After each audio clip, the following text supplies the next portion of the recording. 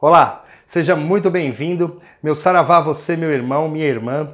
Eu sou o pai Anderson Maciel, sacerdote do Colégio e Templo de Umbanda, Cavaleiros de Aruanda, e esse é o canal Umbanda que eu amo.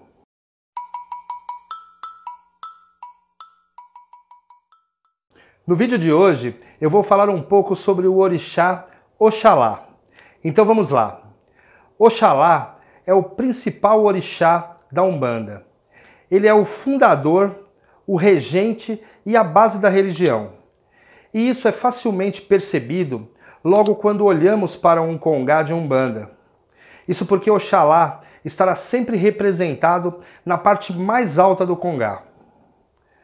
Oxalá representa a paz, a pureza e o branco na Umbanda.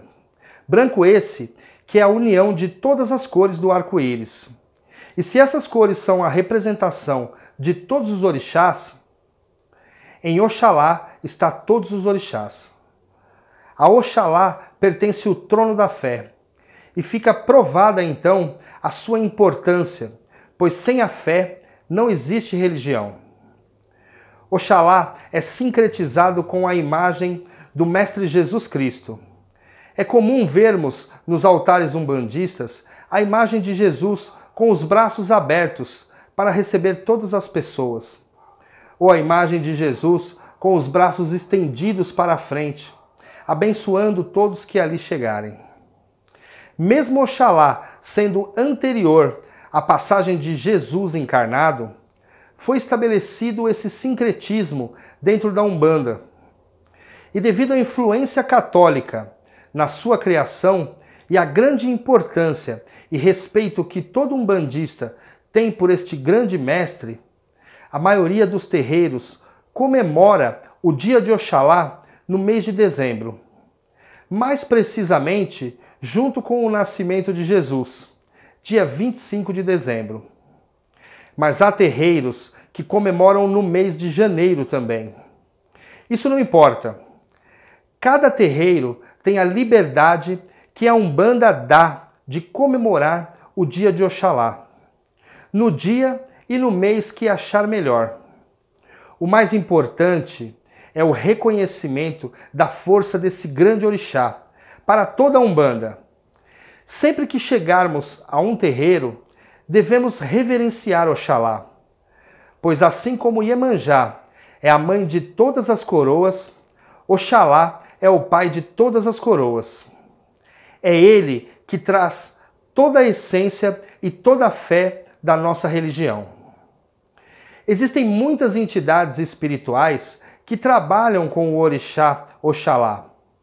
Caboclos, pretos velhos, baianos e muitos outros. Oxalá recebe suas oferendas nas campinas, em lugares sagrados e na natureza.